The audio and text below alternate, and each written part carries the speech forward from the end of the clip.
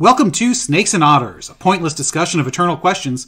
Get ready, we're about to live in your head rent free.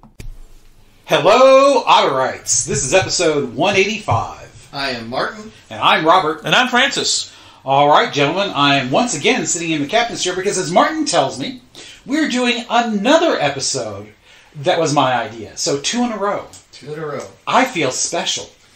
You should, sir. So I- Yes. I'm not sure if this is, you know, a punishment or what, but if you bring it up, you're going to be the captain of it. Well, and I think that's fair. I think that's fair. So, Yeah, we are we've done doing a history episode. I This notice is- Francis is trying to avoid bringing any new ones up. Oh, I, I've kind of reached my quota for a little while. Uh, y- yes, yes, that's fair too. Uh, so this one is a history episode. As you know, we've got the new format just twice a month. So this first episode of the month can be one of several things. It could be straight history. It could be uh, people you should know, our heroes slash uh, what do you call it? History's dirtbags. Uh, I called it uh, history's douchebags. Douchebags. Yes, yes. Uh, so it could be personalities, historical figures, historical events, uh, philosophers. Uh, could be just about anything. Cultural history. cultural history. Yeah, which we're probably be doing a whole lot of, just because. We did it all. We've done a lot of We've cultural u- stuff. We've used it up. I mean, I'm sure there's more we could do, but it's time for us to give it, give that a break. Those are always the harder episodes for me. So I'm- Skip a bit, brother, as they say. Yes, exactly. So this one we're doing on Charlemagne. I'm not sure how we missed Great. this for so long. Yeah. yeah.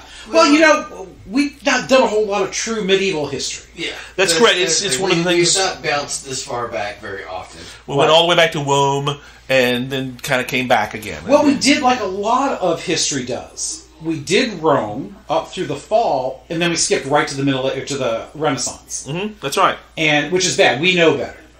Uh, there's a lot of great history. There's a lot of great stuff that was going on. I hate the term the Dark Ages because I think because a lot of people say, "Well, a thousand years of the Dark Ages."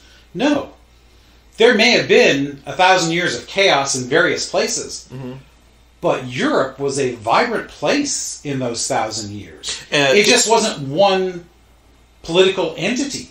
Right, right. Well, case in point of this of this episode because Yes. this is and, and This there is is back that well. This actually this is early. This is the first half of the the what would, most people would call the Dark Ages. Well, the Middle Ages is more of a, a true term, uh, y- y- and those I've, I've seen it written where the Dark Ages ends with Charlemagne, and the rest Yes. of the Middle Ages continues. You could make that case absolutely, Absolutely, because this is Um, he is that formative, that significant. right, Uh, and he is that significant uh, because you know I like to say the history of Europe is the history of the Habsburgs. That is very true, but even before that, the history of Europe begins with Charlemagne. Uh, it really does. King of the Franks. He is he, right. He was the king of the Franks. He united Central Europe, uh, you know, from France all the way to through the Germanies under one political entity. Uh, which I think was the last time France conquered Germany. No, yeah, no, no. Uh, Emperor of the Romans is what he called himself from 800 forward. Right. That was the establishment of the Holy Roman Empire, That's right. and it was the Holy Roman Empire because he was literally crowned by the Pope. Mm-hmm. Uh, so you know, it's hard to beat having church approval at that time. Yeah. So the setting is, of course, Rome has fallen in the west, Yes, but not the East. and so you have the tribal kingdoms, I guess you call it, It's not bad. Vandals, Ostrogoths, Visigoths, Visigoths. Uh, and all of these other Germanic slash whatever tribes.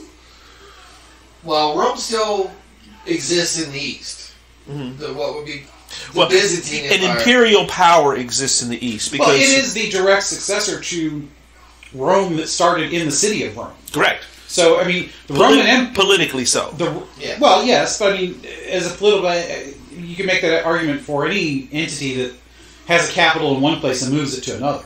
I mean, you know, it is centered around Constantinople that Right. uh, Constantine founded and, and set up as the hub, the, the new capital of the empire. yeah. And then after Constantine, it was there was a split. There were east west. They usually try to uh, complement each other. The east was seen as sort of the senior.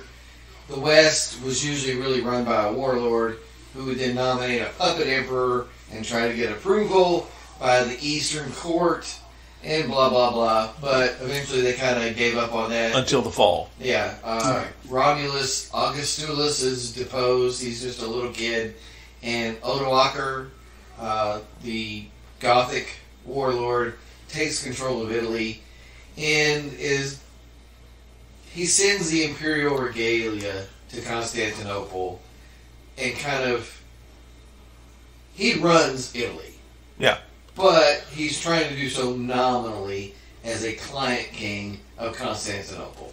And sort of that sort of situation kind of comes and goes all throughout Europe. Well, it makes some sense uh, politically speaking because Constantinople is still extremely powerful. You do not want them as your enemy.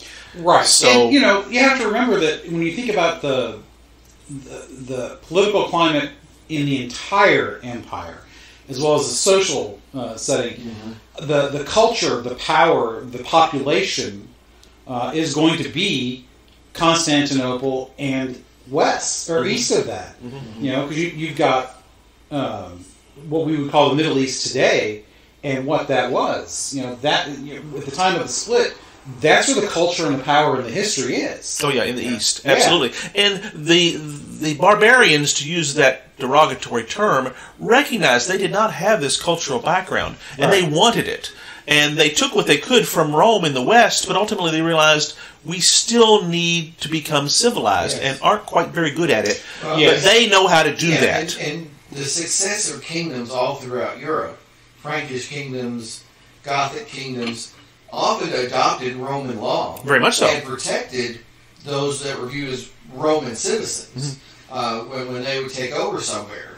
Uh, Roman citizens were often protected under law.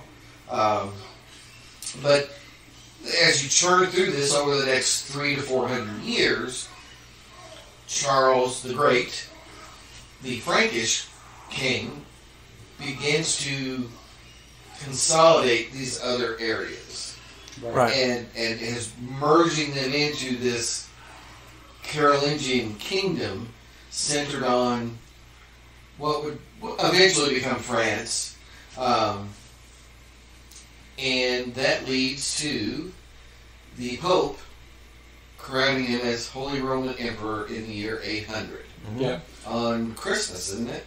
hmm I believe it was. Yes, Yes. I think so. Uh, yeah, which for those of us with OCD, that round number just sounds so perfect. It does. It's it, well, you know, there, there's probably no small uh, planning in that significance either. Oh, absolutely. Uh, you know, Right. it, that, that Oh, it, it was it was a, a, a setup to not just confirm a temporal power for the Pope, but also to set Charlemagne up as the legitimate successor then, not just to the West, but for both halves of the empire.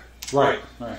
So um, they really wanted to view this as putting Rome back together under this great leader, Charlemagne, uh, and, and to to move Rome forward. That's how strong the memory is, even this 300 plus years later. Well, yeah, I mean, you know, Rome as a city, uh, you know, it's called the Eternal City for a reason.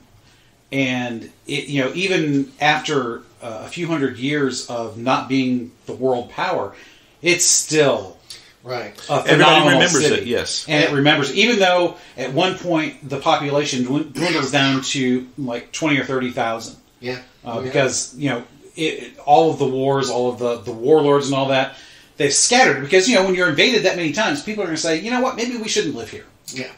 or they're going to be taken off as uh, slaves or whatever. But it still has that history. I mean, you you go there today, and you see that history. Uh, it's still there, Yeah. and it's just you know that kind of of pull on the imagination is huge, and it cannot Yeah. be Just minimized. Yeah, the power of the words Roman Emperor. It's, Right. I mean, it was that much of a thing, and they wanted to really, you know, etch that in stone. Right. You know, you look at it, a similar thing uh, with Egypt. Obviously, the Egypt of today has absolutely no relation as a political entity Right. to Egypt of ancient days. Mhm. But there's power in a name, Yeah. And you know, to to them and to many, Yeah. it, they get a lot of cachet from being called Egypt, Mhm, yeah. which is fine. They should be. That is the the, the territory. That, that- Yeah. That's fine. I don't have a problem with the name, but I'm, you know, you have to recognize that. And again, you see that history. There was a re- a reason that the Ptolemaic rulers of Egypt still wanted to be called Pharaoh, Yes, even though they didn't really have any they relation. were to- Greeks. yeah, they were Greeks. That's right. Yeah. So So yeah, it's you know there is power in history and a name. Obviously, we know there's power in history. That's kind of the point of these episodes. Um, but Charlemagne is a great historical figure for a lot of reasons. Uh, you know, you've got the uh, the military greatness because he manages to unite under one banner. Granted, you know that involves a lot of war and death and what have you. But historically speaking, uh, there's a lot of uh, a lot of stuff there because what comes out of all of that badness is a great thing. Mm-hmm. he stacked a lot of bodies. He did. Uh, anybody who was a king who who expanded their kingdom did that. Well, that's I don't want to minimize that because that he he just he was not a he did not unite Europe completely under the point of the sword. He didn't. It is not like you go. It's not like Napoleon, who basically you will do it my way, and here's my troops to pr- prove it. He made them because of who he was. He made them want to be part of this entity because he also brought not just troops that you have to house, or but he also brought uh, Christianity with them, which people begin to find, oh, this is better than human sacrifice. Oh, I can see the Yeah, values yeah, of that's that. something we often forget. Education is the another one. Germanys, especially the northern Germanys, are not Christian yet. Yeah, That's correct. Still pagan. Yeah, even though we think of Europe by, by this time, you know, that wherever the, Right. the original Roman Empire was is has become Christian. It's like, no, that's not really true. Right. That's right. Saxony has not become that yet. Right. Uh, much less all that which we call Danelands. You know, Right. Oh, those are all pagan up through there. Although, and he, although Charlemagne does convert Saxony. Right. Uh, and again, the, the Gothic kingdoms, the Frankish kingdoms, they were Christian, not necessarily Catholic. Well- Arianism is still a part of this equation. Oh, well, Oh, okay. well, yes, yes. uh, Arianism is a big thing in the Germans. but he That's correct. is Catholic. yeah, orthodoxly Catholic, which I know that Orthodox. sounds. I don't mean that as in capital O. but I that, mean that that was a big conflict. In he was in he was in communion with Rome and the Roman Catholic Right. Church. well, but at the time, it wasn't the Roman Catholic. I know. I'm Church. trying. I'm trying to put it in Right, right. words that It- we but in use. my, it, well, I think that's because enough say he is in communion with, with the Pope. Uh, whereas a lot like the uh, Arians are not going to be. The Nestorians in the East are not going to be in Right. communion Yeah, with. yeah, yeah, with the the- Visigoths were all the Arians. kingdoms were That's right. Arian. But Yes. he's the Frankish king. He's subsuming these other, and they are now moving away from Arianism. He's unifying the continent politically and religiously. Correct. Yes. Exactly right. Now, uh, and, And that's that's, a huge it part is of it's a this, I huge think. piece. That's Yeah. right. And again, like you said, it's yes, he's advancing Christianity at the point of the sword somewhat, but not Not really. completely. I No, mean, yeah. people are like, Well, "Hey, this guy's got it going on. Let's join up." That's ultimately that's exactly it, because we do not want to paint him. He is not a Bonaparte, which was exactly. That's exactly. That's exactly There's the difference. Point. There Yeah, is a difference. nobody- Napoleon was entirely forced conquering. correct, and this is not. This is.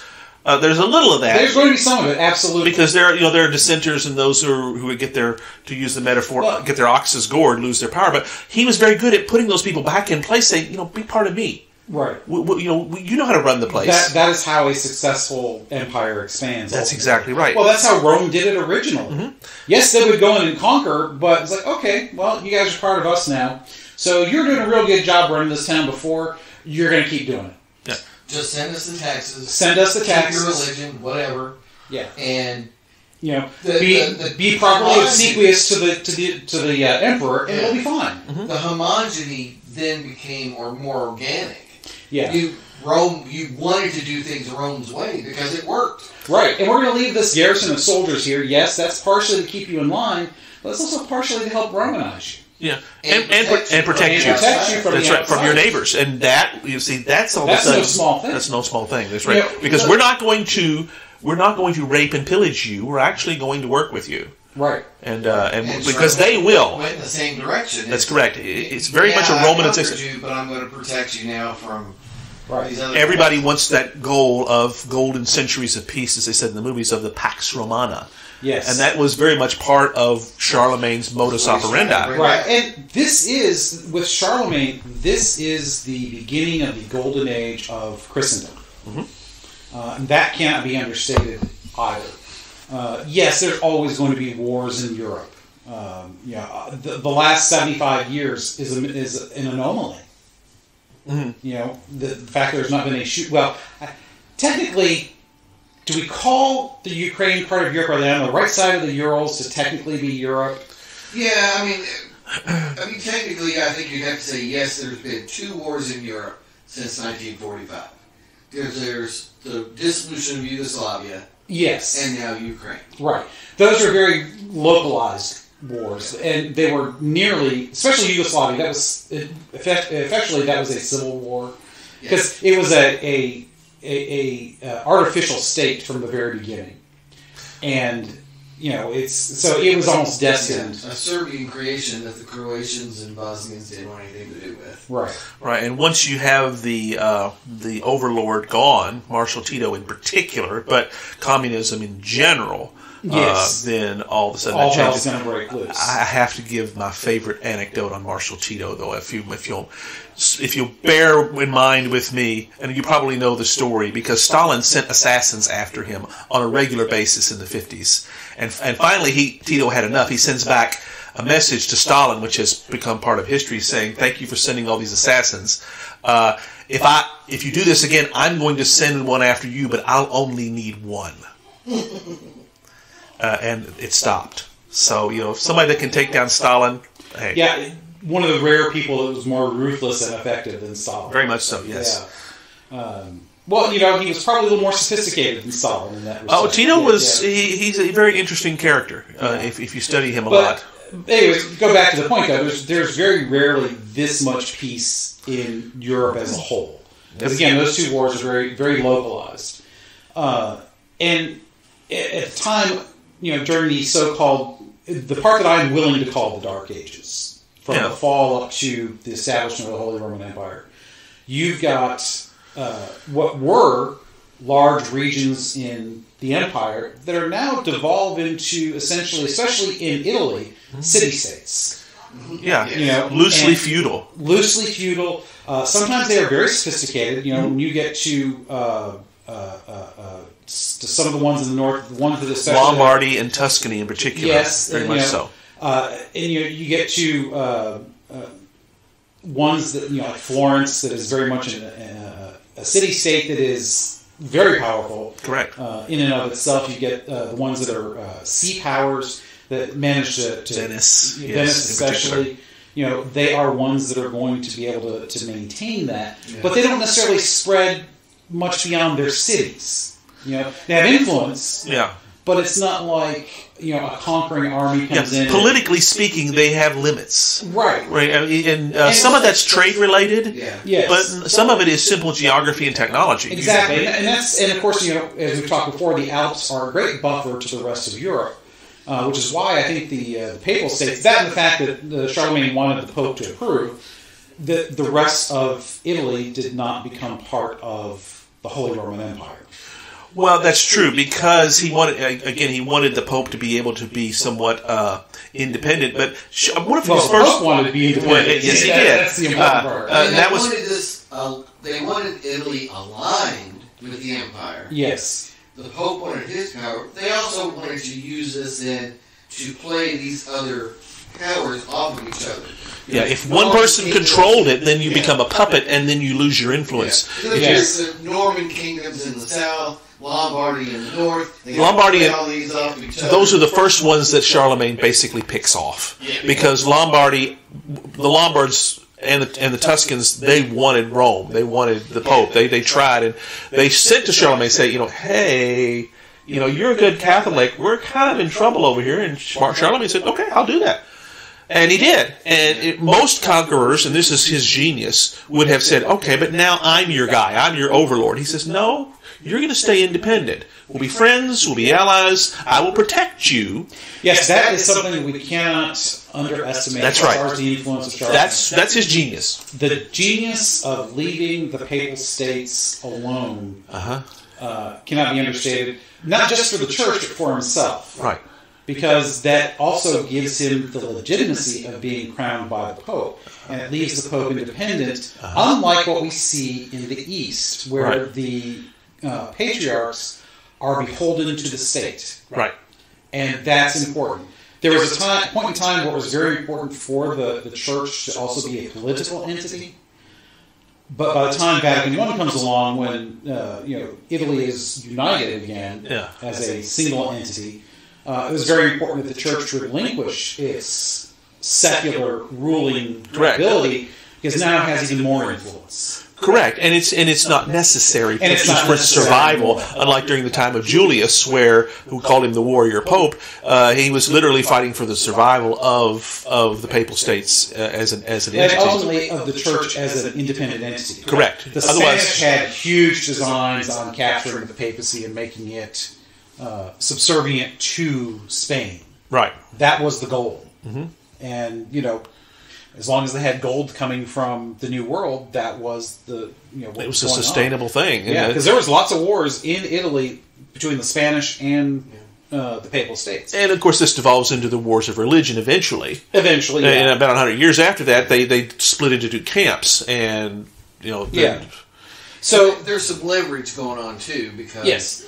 uh, it gives the Pope, if he's still independent, it gives him some leverage that he can excommunicate or interdict, which were very powerful weapons at the time. absolutely, That's right. Uh, and okay, you, you don't like Charlemagne? Fine, interdiction. that's right. And then suddenly your town, your state is cut off from other Catholics. Right. And the And sac- so well, the you- sacraments too. I mean, which is you better very much in line and Yeah, and the, the beauty of the independence of that is that was not something that was wielded as a in a puppet like fashion against Charlemagne's enemies. He himself was subject to it at times. right. And it wasn't wielded as, as a bludgeon. It was against it was meant as a corrective, like you know, we're all supposed to get along. Yes, we're all obviously- Christians. Yes, and you know, I'm I'm freely willing to admit that yes, there are times when it was used as a blunt instrument, Sure. but that was not always the case. Uh, I said it was probably less the case than than some. Well, it, it was it was Henry a the Fourth, uh, Charlemagne's uh, Yeah. successor, uh, one of the Habsburgs, he, he got smacked pretty hard several times, Yes. and uh, Philip the Fair of the French with the Templars and all yeah, this we we've could discussed. Do a whole episode on the investiture controversy someday. right. Yeah, so.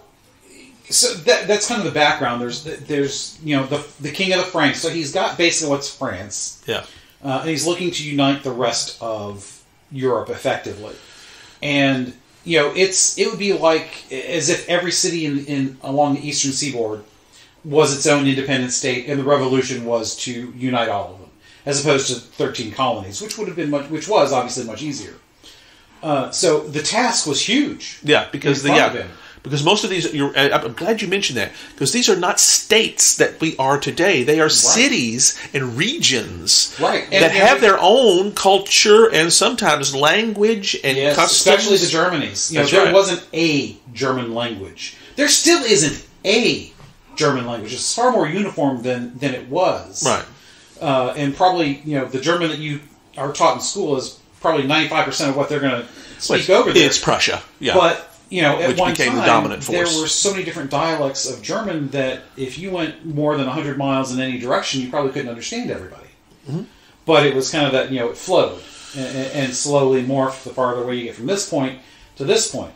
Um, so yeah, that, it's an incredibly difficult task he's got in front of him. On the other hand, it would have been also very easy because of that, because nobody had a huge army. So right.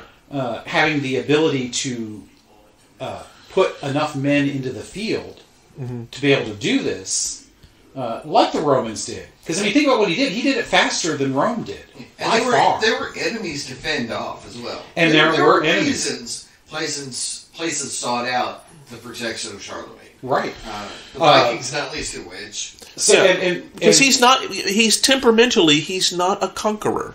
And I think we we we don't want to slide over that too much. We've talked a little bit about it. That's he's he's helped he's helping to civilize with a goal to bring about this Christendom.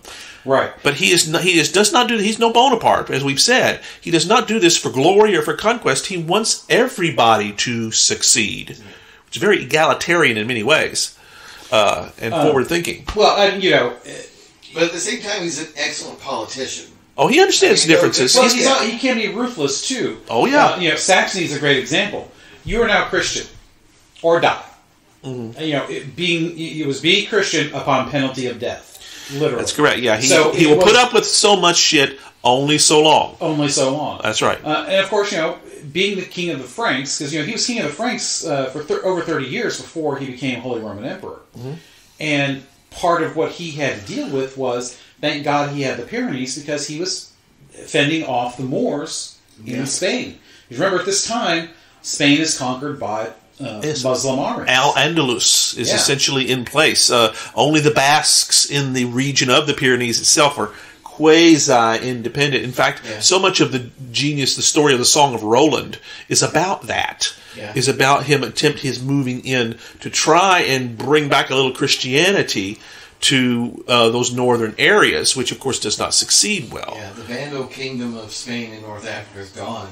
Yeah. Uh, Yeah. By this time, it's it's Al Andalus. Uh, in only 200 years, Yeah, very the- quickly. the It- Muslims have conquered, uh, boom, like everything. Yeah, yeah. Everything that was not continental Europe, that was the known world at the time, basically. Yeah, they were basically stopped on two points, one in the east and one in the west. Transylvania on one side and uh, the Pyrenees. Yep. So Constantinople, right in the middle. Yeah. So you know we've got this uh, this crazy milieu of Oh, there's that word. yes, I, I, I, I I- knew you guys would like that. Uh, then he manages to unite eventually, which is just a phenomenal task in and of itself. Into a. single polity.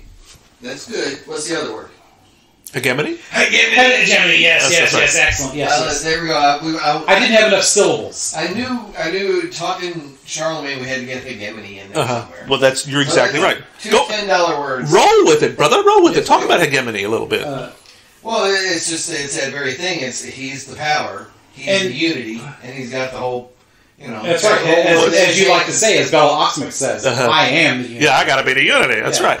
Uh-huh. Uh, and you know, he was uh, he was also interesting because he he's not like you said he's not a conqueror. And he already has his own power base. He is a legitimate king, descended from kings, Uh-huh. uh, which makes it uh, probably better in the eyes of many. So you know, we look at uh, the, the the raiding Goth armies that come in from uh, northern Europe or from the other side of the Urals the steps and, and places steppes like that. Yeah. They're all seen as warlords. Uh, you know, marauding bands. Those who have taken what they want by force. yes, and it's not to say that a king doesn't do that too, but I think in Europe you're gonna they're gonna view that a little bit differently because he's got his own kingdom. He is Frankish. Yeah, Yeah, and he is of the people. He is of them, and that's ethnicity does matter because, It- like you say, yeah. uh, otherwise you're, you're invaders from the north. Well, no, no, he he is of us, and he is very, uh, very powerful in in many respects. Uh, that he's able to uh, and enlightened. You know, I, I think Hobbes would have had a field day. I don't know if he spoke on Charlemagne in particular, but that whole enlightened despotism that he that he spoke of in Leviathan, which we've talked about, Charlemagne would be prototypical of that for him. He's one of those that did that well. Uh, and kind of looking back on that, he would say, "See, Charlemagne makes this work. He is an absolute ruler, but he also recognizes there is diversity and a necessity of everybody getting along within here. Because even though he is, I don't want to say rabidly Christian, he's certainly strongly so. Uh, as a general rule, there were not religious persecutions under his time. Uh, he, uh, he he wants to convert you, and if you if you really make a stink, he might execute you. But that's not what he's working off of. That's not his model. It's not conversion at the point of a sword. And I, I wish I had it in front of me if he had any Jewish anti-Jewish pogroms during his reign, but I seem to recall no. I'm willing to be His corrected. reign was so long, it's, that would be a if he said, Yeah, well- there were absolutely none. yeah, But there, was- there was none of that were sponsored by him. It was none of his well, stuff. if you that- think about it at the time, it would be more likely he would be taking Jews in because they would be fleeing Spain. Well, that's correct. That's right. Oh, although uh, eventually, you know, not to you know, Al-Andalus is a complicated political Yes, entity. They were As far more friendly to, to Jews, Jews than, and than Christians. many Christian uh, kingdoms would have been, but not all of them stayed. Right. Some were secret, con- you know, secretly uh, did not convert after saying they did, which was a problem once the Christians took over. They were, you know, secret Jews. yeah, it really got difficult, when- to be honest, when uh, Ferdinand and Isabella went back and did. got it. But during the time, Al-Andalus was very tolerant as a general rule. If you pay your taxes, Well, And- that's very important to a king. that's right, and and you and you don't start killing people, and you you know you get along with people, we'll probably allow you to do what you want to do. Well, as a Christian, you had to pay extra taxes. that's correct. That's right. There's there there's costs with this. Absolutely, You- But- you do have to submit. I mean, they are it it was it was basically they they ran a market study and came up with what was expected and reasonable and yeah it it, it, it worked out So I want to talk a little bit uh, about uh, actually some of his ancestors, because I think that's interesting too. Because you know we're talking about uh, oh yeah, you know what? This is a good point. Martin has just pointed out we're a half hour into this episode, and a half hour is when we like to do what we like to call the bourbon break. this is the bourbon Yes, No, yes, since we were talking about the, the Talking France? although they are much later. much later that's right but you know say hey Nearly a thousand years later, the last one is king. That's right So yes, exactly that is quite some time. So uh, we are doing um, a couple of different ones from the last episode. Uh, Francis and I have poured uh, the Old Forester 1920. prohibition style Yes, yes, it's 115 proof. Yes, which we just also tasted at the Frazier, our bourbon experience that Robert arranged for us. Yes, Uh-huh. and that was uh, we did that one neat because that, that's how all the bourbon. well yeah that's how they they, they the- want the it to be Are, yes. this is a very different experience because we're having the same bourbon over ice Yes, so we've got And- the ice melting, and I tell you what, um, it, it's phenomenal the difference it makes in this. It, it was already good, yeah but being 115 proof, it's a little harsher. It's hard to drink that one neat because Yeah. the last time we had featured it on the show, I had it neat and I had a headache for the rest of the day. Right. Whereas this is much different. Oh my gosh! It really, it, like many of the ones, I I think the best bourbons has that, as we call it, a bloom or an explosion of flavor. Right. and you really do get a, a, a, a really a great sweet bloom in the mouth. Um, you know, a little bit of caramel I think comes through with this. A little vanilla as well. And caramel and vanilla almost always go hand in hand. We found out that was almost entirely from the from the oak, uh, which I did not realize. Uh, and you know the, the degree of char and everything else. That 1920 is it's it's super complex. Is what I love about it Yeah. because you you get the, it's like the flavors are stacked almost, Yeah. Yes. and you, you get there's some spice, but then there's sweet, and then there's the oak. Uh, you know that kind of wonderful woodsy, but then you know caramel and I think it's that 115 proof that makes it. You put it over ice, and you but you don't water it down. I mean, you technically you It will do. get watered down. Yeah, it does, but technically, but it's it's so powerful you don't lose A lot of that, a lot of that power that comes with it, but it's moderated to the point where it's not overtly intense. Yeah, uh, Martin, the way you put that, I think is, is really great. Uh, that it's layered. Uh, I get that sweetness there right on the tongue immediately. Yeah. Um, then it uh, gets a little bit more of that peppery uh, bit immediately after, and then that burn starts uh, kind of the back of the mouth down through the uh, uh, into the stomach. And we learned from Sam at the Frazier that the pepper flavor, uh, the peppery tones, are from the rye in the mash Yes. Uh huh. bill. The, the rye that, you know, as you play with the mash bill and you more wheat, more rye, whatever, Mhm. that, that's what brings that level of that peppery type flavor up.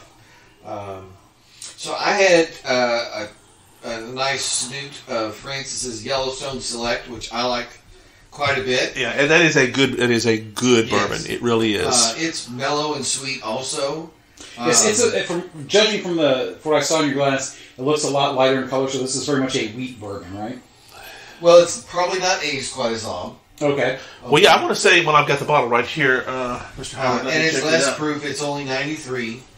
but Only. Well, yeah, I was gonna say, but it, it's higher than some. You know, but it's, it's uh, right. It is more of um, more of a honey rather than the mahogany.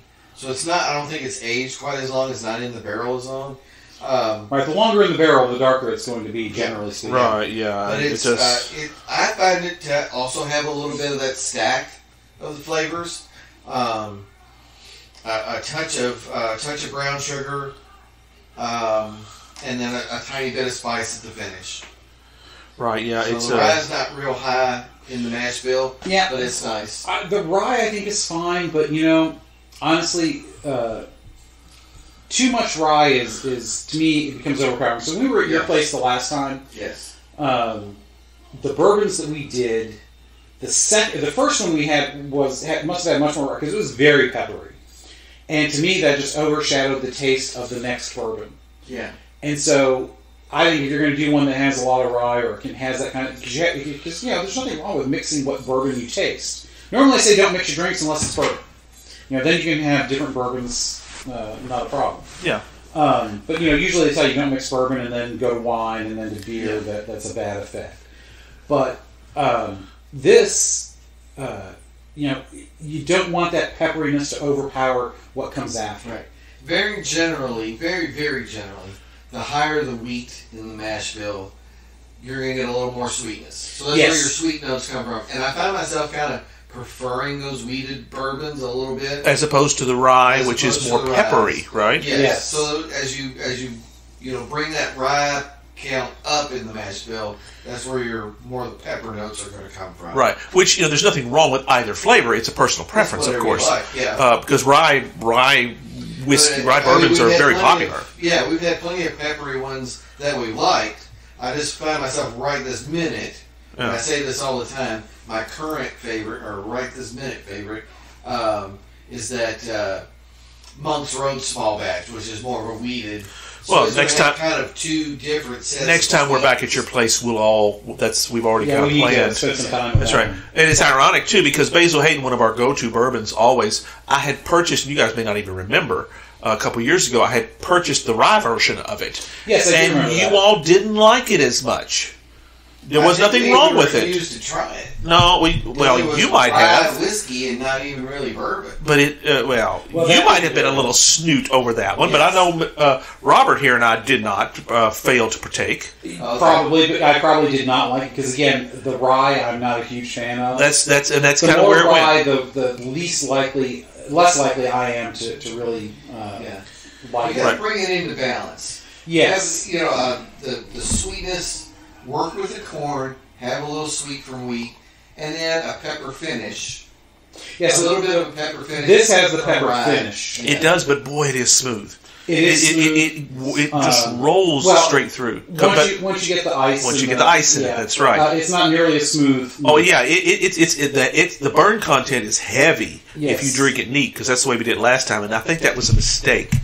Uh, Yes. nothing wrong with it. You can do it whichever way you prefer, but just learning, for me at least, put this nice heavy, high proof bourbon on ice, and wow, I think you're getting it as intended. Right, right, It's my it's my estimation. right. Yeah, I would love to have the expert master distiller from Old Forester on the program to ask him those questions. Yeah. One, one more quick shout out before we move on. I want to Yes. send another shout out to our new uh, bourbon buddy, Uh, Sprague. Sprague from NYC. Yep. Uh, I told you you were going to get some shout outs. Now you've gotten two in a row. Yeah, well, she, she she participated in the in the 1920 Old Yes. Forester. Yes, Yes, she did. She yes. seemed like the Russell Reserve. Uh, Yes, I think she did. yes, she, she did indicate that was uh, of the three that we tried. That was her Well, you favorite. know, uh, of the three that we did, I, I really had a hard time choosing between the Russell's Reserve and the uh, the, The Old Forester. Oh, real large, large. Yeah, yeah. Uh, the 1920, it, it's great, but it would not be you know uh, my go-to out of the three. I would probably be more likely to Really? do one of the others more often, Really? Mainly because it is such a powerful taste.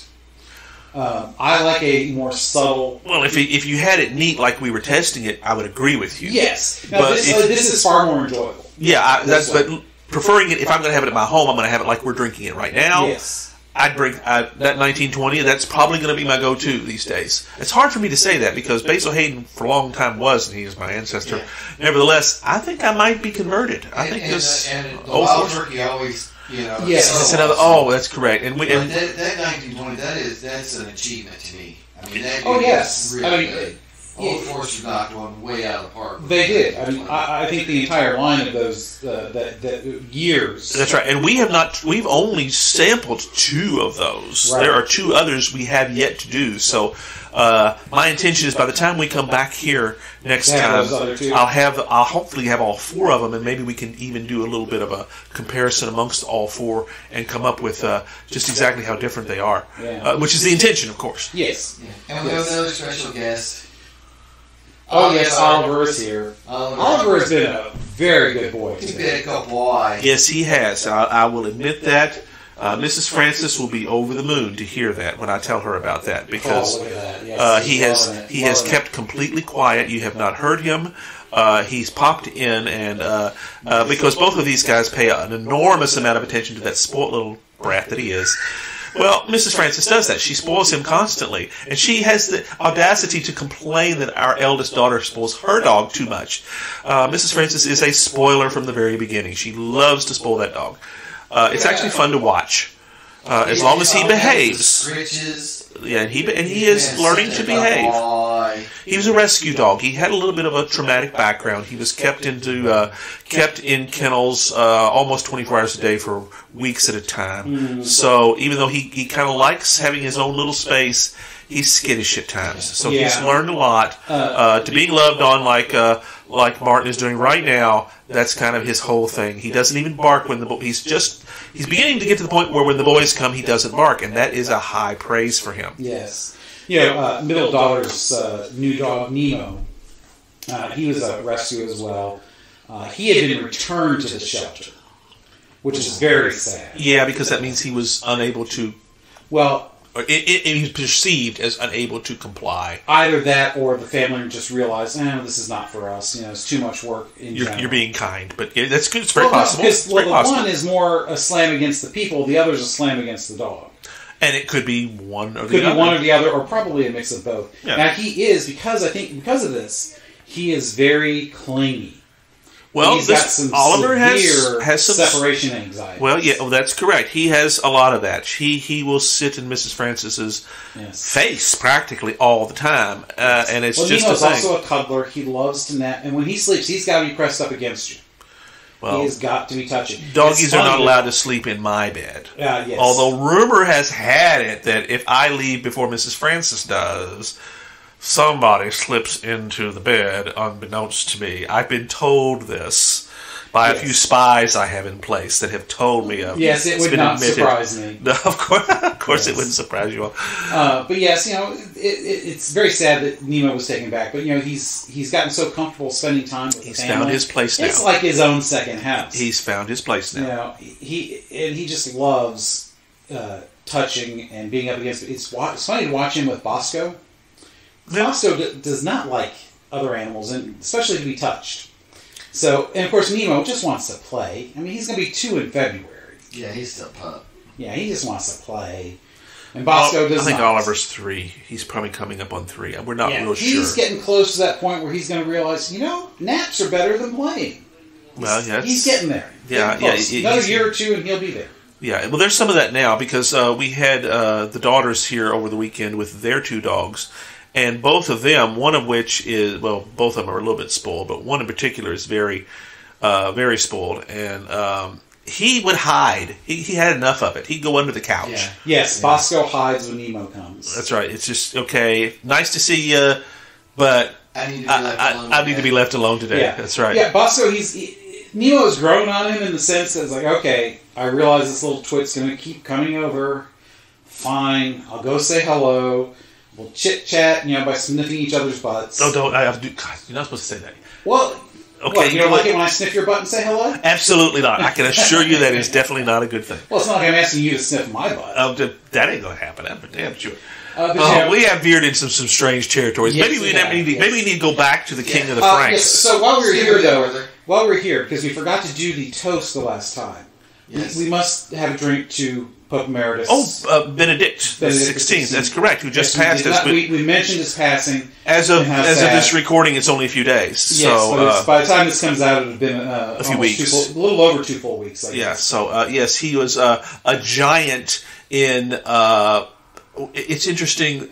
This past weekend when we at mass when we talked about him, he spoke. We called him though he who spoke of God as love and taught us of the the power of hope, which I thought was an extremely good and really on the nose way Yes. of describing him in just a little pithy Well, sentence. yeah, I mean, his two encyclicals, that's what they were. That's exactly it. That's Yeah. right. That's and that's that's uh, you know Yeah. if you're in the if you're inside and you know that stuff, you get that at one level. But if you aren't, which you know most people even in the pews don't get that, No. They rec- they recognized. Oh, he was that, wasn't he? Yes. I think Benedict will go down as a doctor of the church eventually. I think that I would think be he is the greatest theological mind of the 20th century, easily, and into uh, obviously the into early, the twenty first. Yeah, early 21st. Uh, Oh, I would he was a brilliant man, absolutely stunningly He- brilliant. and he got the depth. Uh, and he made it understandable for so many people. And Uh, he was keenly aware of society and societal effects. Uh, he's the one that came up with dictator rel- dictatorship of relativism. Yeah. And you know, Yeah. honestly, I, I think that speech where that came out, that was just prior to the uh, conclave. I think that propelled him over the edge in people's minds in, in those cardinals because he was. yeah. It was a brilliant observation, and it's not like he was politicking for the job because that was the last thing he wanted. He was looking forward to being able to retire from his his, uh, His job current- at the the and- pre, as, for, for the con- congregation for the doctrine of the faith, That's right. so that he could write his uh, magnum opus to pull his Thomas Aquinas. Not that he considered himself an equal, but to write his own Summa. Right. And Which he was he never able to. Well, his his works, Jesus of Nazareth, That's came close close. Yeah, uh, But which it's, is it's still not one of everything he wanted to write. No, my lord, but he and he wrote so many other things that Yes. were we. Very prolific author, and I, I think uh, very likely he will one day be proclaimed a saint and then a doctor, because I think all doctors are saints. yes, Uh, no doctors are martyrs, but all doctors are saints. Yes, that's right. uh, I think he will. will I think John Paul will probably end up being a doctor of the church for his theology of the body. Oh well, and, and many other things he did. Uh, just uh, Veritatis Splendor alone. My goodness. But anyway, we're sliding down Yes, into two, to Benedict the Benedictus sixteen. uh, you know, wonderful pope. In my Yes, opinion. res, requiat in pacem. Yes. And speaking of which, Okay, so uh, Charlemagne's uh, ancestors. Uh, we kind of were talking about Charlemagne as if uh, he conquered uh, uh, uh, or incorporated all these tiny little cities and polities and what have you. That's not entirely true. right. Uh, coming from a, uh, a kingdom, his ancestors were not uh, uninfluential. They, they, there was a great big. This is a movement that had already begun by the time he completes it. we we tend to in the backside of history act like he just sprang whole cloth as something completely new and different. Right. And I point to probably his grandfather, Charles. uh, Of course, my, not my namesake, but we share the title, the Hammer. Yes, Charles Martel. Martel. That's correct. Uh, yes. He was uh, he and uh, Pepin, Uh-huh. uh, who followed him, who was Charlemagne's father. His father. father. That's right. The three of them together, they laid the ground for groundwork for everything that, that comes after with the Holy Roman Empire, and that I think you know has to be emphasized as well because he's not, as you said, not somebody who just came out of nowhere Right. like a Napoleon kind of did in that sense. Well- 'Cause, you know, he's he's a military man, but he has no rank in the in, in France until after the revolution. You know, obviously he has military rank, but he's not a noble. No, yeah. He's, so in that sense, yes, he had to make himself such. he had to make himself such. Yes. So he he comes out of nowhere in that respect. right. But as you said, Charlemagne is not a Bonaparte, No. and He's a part. Of, he's part of the system. Yes. He, he doesn't usurp the system. I mean, Napoleon, Yes. Bonaparte was called a usurper, rightfully so in many respects, even though they willingly gave him the authority. Uh, he was not of the system, whereas Charlemagne very much was. And uh, and although we do want to point out the fact that he did not inherit a unified kingdom. No. Uh, in fact, when, when his father Pepin died, uh, his brother Carloman was actually given the lion's share. Charlemagne was older; he was the first, uh, but th- they, he splits the kingdom up, kind of like King Lear does uh, in Shakespeare. Uh, and Very common with the Carolingian they- but- Frankish kings. and to be honest, Well, he did it himself with his own kids. that's right. Yeah. And which led to the the Germanies being a, a thing ultimately. which ironically they do this out of love. yes, that's- and that- Well, it's that's- we should point that that out. fratricide. It is what's going on. That's right. They, they, Everybody's going to get a piece, but will they be happy with that piece? well, that's the, that's what they can't control. Yes. Well, and the short sightedness is that, well, if you do this, if everybody does this, you end up with 300 voting members of the Holy Roman Empire. Right.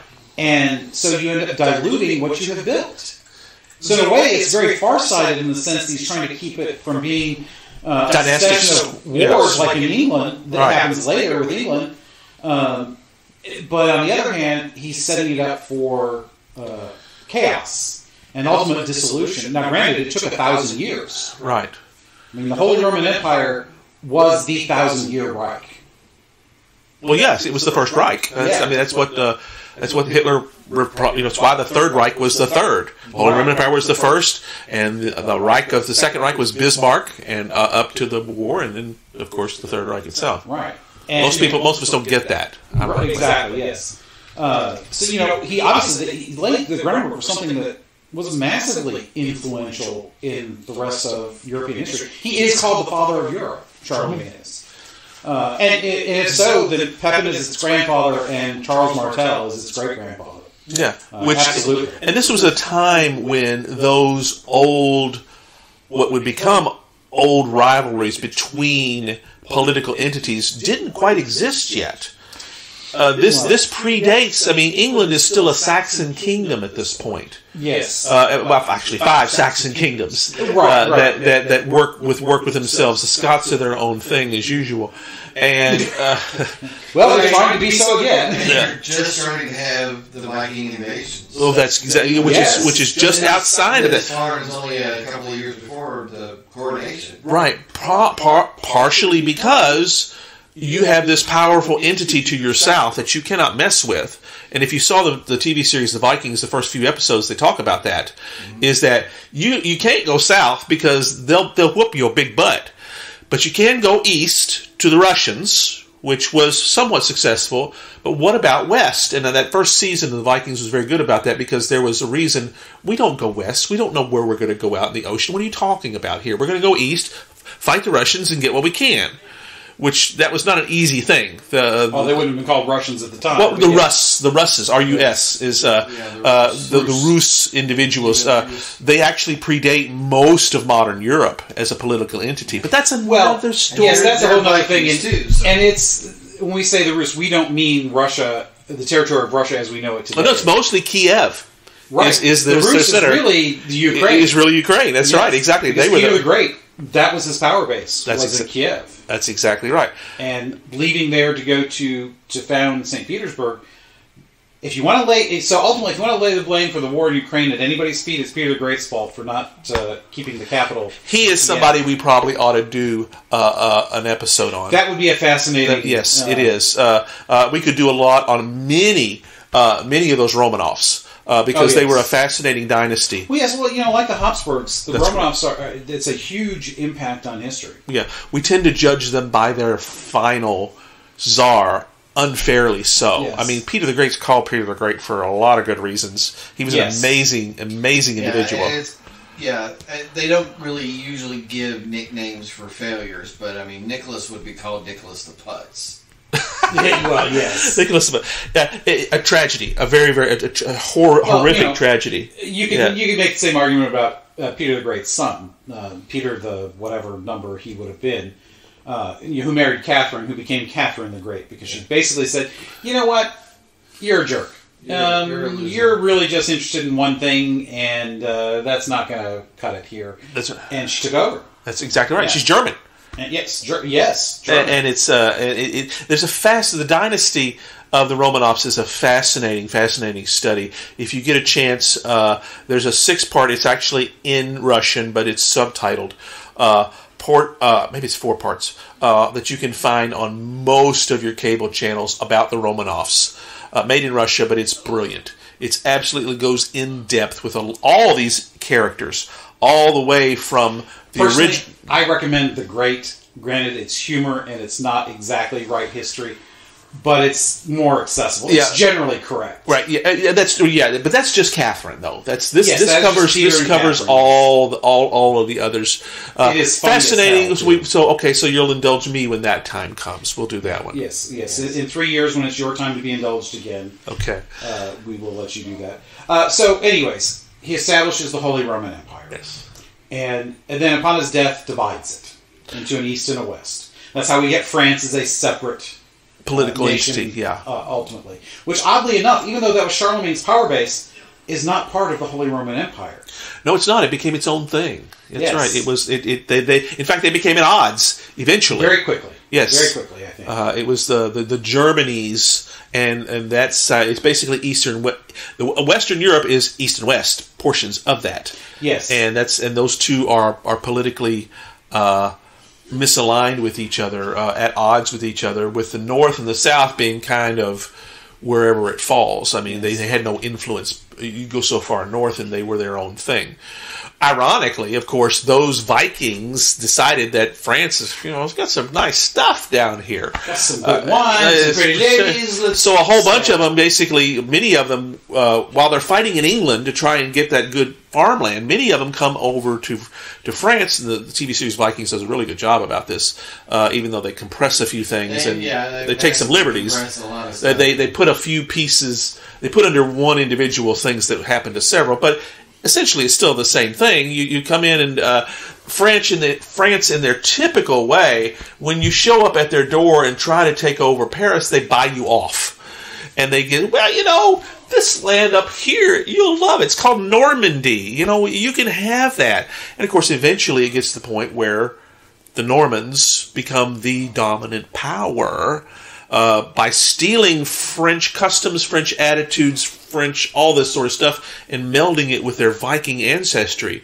to become the ones who eventually conquer england and meld yet again and create a new And a huge chunk of uh, of Italy Of too. That's correct. Yeah, they, they win both cases. You know, that's just uh, uh, the Darwinistic aspects of Europe are fascinating to follow. When you take the strong but less and the decadent and put them together. yeah. Uh, That's usually a recipe for disaster. but in this case, something grows out of those ashes because uh, You know, it's interesting. Uh, I'm going to be somewhat politically incorrect here. Um, it's interesting because your example of the Vikings is a great uh, uh, uh, opportunity to point this out. So there's always talk about whenever somebody gets conquered. You know, later on when the uh, those who are feeling guilty because their ancestors conquered something, well, you know, we need to give the land back. Okay, okay. So let's first start. Let's go back in time a little bit. Does that mean Henry's going to give all of those churches, and, and uh, or, or, or Charles is going to give all those churches and uh, monastic lands back to the Catholic Church? Uh, you know, are they going to give all of England back to the uh, anybody who has some Saxon blood? Mhm. You know, are the Normans going to give it all back to the native French? are the Scots and the Welsh going to be suddenly completely independent? Right. Well, the Scots might be. Yeah. Well, they they almost were. They almost were. but they decided eh, maybe this whole UK thing's not a bad deal. Uh, that which goes to show that you know we've kind of crossed the the metaphorical Rubicon on this. Yeah. Hey, you like that one? Uh, to say you know that's the ship has sailed. We're no longer. Well, we're, it we're, can we're more. Well, it could it could politically speaking, but you know we're stronger together than If, they- apart. if England had stayed in the European Union, European Union, it might have passed. That is a very interesting question.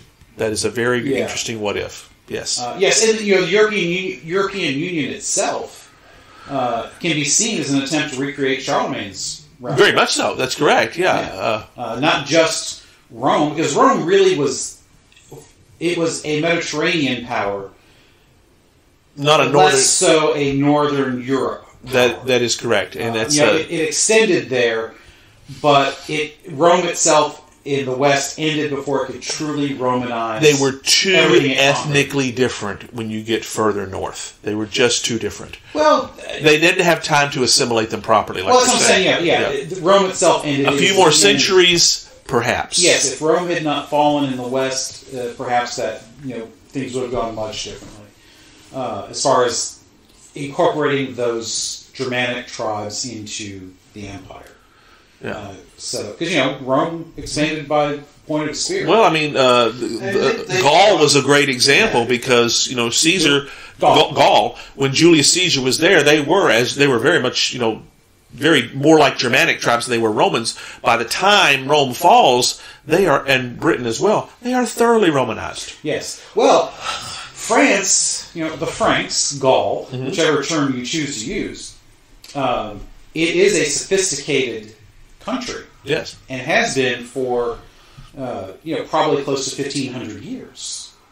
And, you know, you look at the first universities, where are they? Paris. that's right. Paris is a cosmopolitan city. France itself is the eldest daughter of the church, primarily because of Charlemagne and his, Right. his forebears, making that into a strong Christian nation that Something that's carried forward. And expanded. That's part of his legacy that I don't. I want to make sure we don't lose that as we come up on an hour here. The fact that France, the descendants of Charlemagne, those in power in France, no matter the dynasty, because there's a little back and forth on all Yes. this, of course, they all saw themselves as good sons and daughters of the church that will protect it at all costs. And this goes even after Martin Luther, because during the 1800s, Oh, especially after. well, yeah, because uh, uh, Louis the Fourteenth, which we talked about in that episode, you know, he considered himself a defender of that church, and he styled himself, as did all the Bourbons, his most Catholic Majesty. Well, yes, and you know Richelieu was he was both a uh, French patriot as well as a patriot of the church. That's right. Uh, in France, that is easily seen as The synonymous, same thing. and pre-Henry, it was seen the same as in, in England too. Yes, Although that, you know, but that, all you know, another subject. that's a whole whole, That's right. whole other thing. Uh, and many of the royal houses that we think of in Europe are traced directly to Charlemagne. The Habsburgs, especially, they are direct descendants of Charlemagne. Mm-hmm. Uh, so you know when they are in charge of the empire, this is literally a legitimate uh, thing. Now, granted, they do start out uh, much smaller, much later, Mm-hmm. uh, but they are a, direct descendant. Uh, the what is it, the House of Ivrea, uh, the House of, Lu- of Luxembourg, uh, the Ottonian dynasty, and the Capetians. Mm-hmm. You know, unless you're a history buff, you're not going to recognize most of those. Right. Except maybe, well, unless you're a history buff, you're not going to recognize the Habsburgs either. But uh, those are easily the most recognizable. Right. Um, and and yet, you know, he is he literally in that sense he literally is the father of Europe. Uh, not just because of the, the uniting, but because future rulers all descend from him. and and try to and try to establish legitimacy accordingly. Yes. Yeah, and, Yes. and yeah, I mean, what you, you know, hanging your hat off of what he built gave you the chance to set up your whatever, your region, county, duchy, whatever, Imperial city, yeah, whatever. Yeah. as, as a as an equal and sovereign place, just like the others. And one thing I will point out, one last thing, because this is uh, something that touches on uh, Francis and I uh, quite a bit.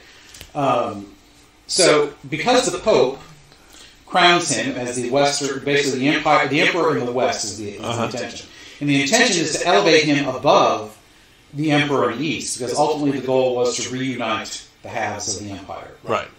uh, even though it's not really the same empire. Yeah, at this point, uh, I mean, they were really trying to establish him as the legitimate heir to both halves. Right. Because there's a woman on the throne. Yes, Irene. Constantinople. Yeah, which is very, I mean, that's rare in any time, but yes. Um, and so, because of this preference for the Holy Roman Empire in the West, this ultimately, it doesn't cause, but it contributes to the Great Schism in 1054. Oh yes, that's, It, that's it is right. not just the filioque, it is many things. Uh, you know, that's the religious reason. The political reason is began began with Charlemagne. Yes, And- all of a sudden the East has to take notice of the West again. Before they were simply a bunch of barbarians that we can defeat handily, and all of a sudden it's Which like, is true. It- it- right? And now all of a sudden they are as sophisticated, one could argue, as those in the East. and uh, Militarily, at militarily, least training to be equal. that's- that's correct. And- Well, with the- sophistication. Yeah, well, and with the universities that the, that the church establishes and the, you know, which really, if anything, brings the, the Europe out of the Dark Ages is going to be that. Right. Uh, that's where learning flourishes and starts to expand. Uh, because of that, yes, there is sophisticated things. Some of the greatest thinkers of the Middle Ages absolutely are uh, products of that. That's right. Uh, but yeah, so it, he has a lot to be credited with as well as blamed for. Yeah, we didn't talk about a lot of the blame for. Uh, we've we've run out of time. Simply, Yes. I know it's kind of been a little bit of a worship moment. Maybe you can do a uh, couple of blog posts on uh, the blame for stuff. Yeah, because uh, as with so many uh, uh, powerful figures, you know, they, they were complicated. They had some issues on that. Uh, I resist the attempt to kind of look at him through mo- a modern lens too Yes. much, Yes, I agree. uh, uh, because the, that's that's a bit of a problem. Uh, no question, he was a powerful personality, though. We didn't talk much about that. I will end the episode, though, by saying this. If you really want to get to watch something about him, uh, we've there's very, very little. Uh, it's hard to capture him on film. However, in 1993, uh, in Europe, Christian Brendel starred in a four-part miniseries called Charlemagne that you can find on YouTube, all four parts of it. Uh, it was uh, premiered in North America on the History Channel. I happened to tape that uh, when it happened uh, a few years after that, and it is Yes, I think I have a copy of that. yeah, you probably yes. remember that. It was Yes. uh, uh, it's in English, you know, it's dubbed, uh, and it's fantastically deep because you've got basically six hours, you know, four hour and a half episodes that go into him, him as a person and all the aspects that he did. Uh, uh, where it's deep into his education, his personal life, his military conquests, and all the above uh, and makes him very human and accessible. If you can, like I say, it's on YouTube. It's worth sitting down with and watching. Uh, it's it's a powerful. It's probably the best testament of him. He's just too big to capture otherwise. Yeah. you need six hours. Well, he lived to be 72, and he was king for, you know, almost all of that. That's right, exactly. An emperor for time. 14 of those years. Yes. Peacefully. So, yeah, there's a lot of stuff to cover in him. Uh, and he is easily the largest figure of the Middle Ages. Period. Oh, mean, absolutely. Yeah, He is bigger than any pope. absolutely. Who would probably be, at least in, in Europe, Mm-hmm. the only potential rival for him. And he's bigger than any of them. That's right. So And if so you much if, later. if you want to really understand him as a person, I think that miniseries did a very good job uh, of, of making him accessible, human, flaws and all, but uh, the power comes through, and I think that's essential. I think Robert's right. I think we need some blog posts from Francis. I've been kind of holding the blog up on my own here. With some, Yes, you have. Some Martin Thursdays. All right, all Martin right. Saturday. All right. Well, Yes. I, I can assure you that I can easily post some stuff with some references to the mini series on YouTube. I, I like you know putting those in there. Hey, if you push me, maybe I can do a four part. Oh, I'm pushing. Okay. Yes. Let's have a four part posting. Is missing Francis. Right. We need some Francis. We'll do a four-part. we part need some, some Robert, too. a, a four part Charlemagne thing where I can re- reference, uh, link back to each of the four parts and talk about what they were doing. That would be Uh, excellent. He, he Oh, deserves that. yes. He deserves Yeah, that. Yeah, he's uh, uh, in, in just an, a little over an hour. There's no way we can do Charlemagne justice. Yeah, for goodness that's sakes, such a, a, a teaser. focused thing. All right, all right, That- fine. No, fine. Martin's not capable. You talked me into it. Okay, You can do it. uh, here in this new year, uh, look for that in the coming weeks. All right. Excellent, excellent. All right, So, okay. on that note, Francis, buddy, what's next? Uh, code of honor. Now, uh, this is a freewheeling code of honor. You know, Right, we no know- theme this time. No First theme this in time. several months we've not had Oh, a that's theme. right. Yeah, 'cause- well, we did our philosophy run through, which is one of the things I'm most proudest of. That we did so much about. We would learn the philosopher, and then we talk with their quotations. All that's finished now. So we uh, the chains have been taken off. The training wheels are off. We can pull whoever we want. I'm not sure we can remember how to do this, actually, guys. Well, you know, uh, one of my sources I left at home, so uh, Uh, so you really are winging this one Yes, here. I am totally so uh, uh, figure out what Robert comes up with as he hammers these things together next episode.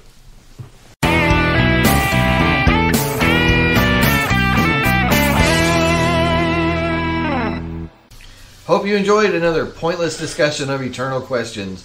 Remember, new episodes drop every second and fourth Friday at 6 a.m. Eastern. Spread the word. We're on all the major podcast platforms, and leave us a review. That helps others find us. We're on Instagram, Twitter, as well as our website, snakesandotters.com.